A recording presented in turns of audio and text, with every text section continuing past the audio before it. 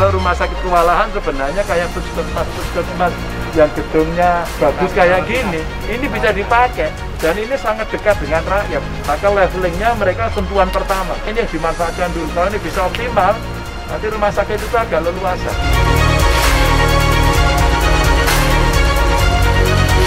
Ini bagus ini, jadi ini dulu puskesmas ditingkatkan menjadi rumah sakit darurat COVID. Nah, pada Pak Bupati, ada Yeah. dokternya, ada timnya, terus kemudian sekarang dipakai untuk merawat. Ini tempatnya juga bagus ya, terpisah dari masyarakat. Maka sengaja saya nengok ini biar nanti semua terinspirasi.